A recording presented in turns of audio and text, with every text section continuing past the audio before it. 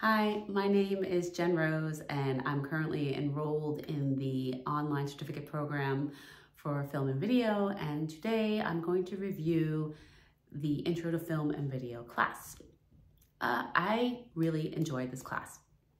Um, I should back up. When I first signed up for this certificate program, I really thought it was going to be more technical. I was expecting um, more hands-on with camera and video editing kind of right off the bat. I didn't realize there'd be all this uh, this work, like this behind the scenes work, I guess, like developing, you know, from beginning, to, from pre-production to post-production. Uh, so this class I really enjoyed. Well, the first thing I loved were all the short films we watched. I thought that was great. Um, I was very happy that I got to spend my day watching these movies. And I love the discussion board. I love talking about them. I love learning about character evolution and the archetypes. And I never knew that. Like I never thought of characters like that before in movies.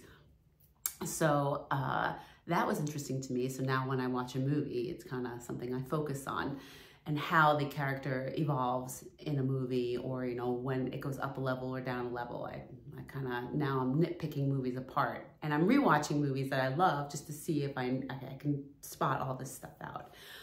Um, so yes, so when I signed up, I thought it'd be more technical. And so I'm really excited to get to the post-production part of this program. But I am interested in the script writing because, you know, I never thought that I would do a script. So I, it was just something I never, it never even occurred to me. So I am curious to see uh, what's up in my noggin and what I can get down on paper. I, I maybe there is a short film in me, who knows?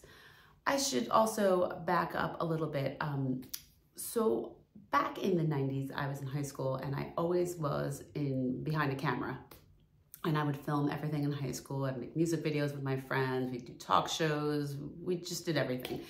And then I never kind of pursued it as a career.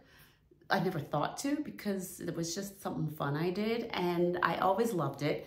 I remember in the early 2000s, I got some video editing program that just like was huge. My computer could barely handle it. And I made some videos and I loved it.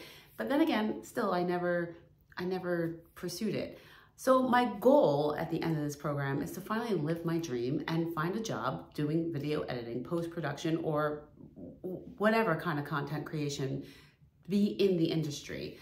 Um, I'm a little jealous. I got camera envy of all the degree program people with their FX6 Sony cameras that I don't have and I'm now jealous and my goal is now to get a job so I can get one of those. Um, and I don't know, maybe maybe continue on with Full Sail and, and get into all that part of it too, because that's something I was really, I really want to do. Um, but I really need to find a job. So in a nutshell, I am loving Full Sail. I love this program. I'm excited for it. I really hope in by September, I can find a job with my portfolio. I'm excited to create my how-to video. I want it to be different. I want it to be creative. I want it to be artsy. I just don't want it to be a plain, you know, how-to video. I, I really, I'm looking at different directors. I'm being inspired. So I'm hoping to get this creativity that's all up here on the camera even if it's a short how-to video, it's a start and I'm looking forward to uh, making it. Thank you.